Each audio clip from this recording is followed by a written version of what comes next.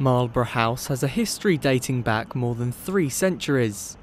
Guests during the 1780s included the Prince of Wales, who stayed at the property which was then called Grove House. The derelict property, which overlooks Brighton's iconic Old Steine, has suffered from squatters over the years. English Heritage placed the building on its at risk register, but after the council gave the go ahead for it to be developed last month, it could face a new lease of life. I think in reality its um, idea of converting it to a residential single dwelling is probably the best thing that, could be achieved for it.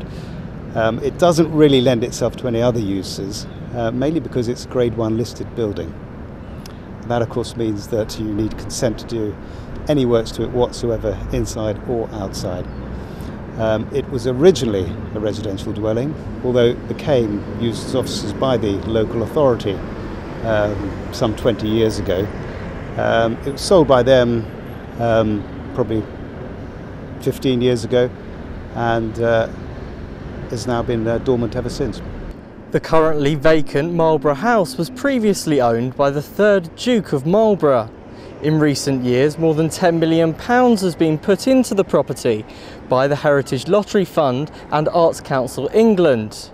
Brighton and Hove City Council last month approved plans to turn this space into a luxury home, but some people believe it's more than just a private property. Nick Tyson, the secretary at the Regency Town House, a conservation group, is dismayed by the decision. He worked with the current owner to restore the front of the house.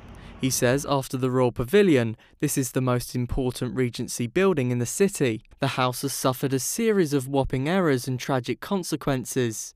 How long do you think it could take for this property to be converted? A difficult one. Um, I would have thought um, anything from four to nine months. This historic house will be a place to call home for someone in the not too distant future. This is Kian Yedi for latest TV news.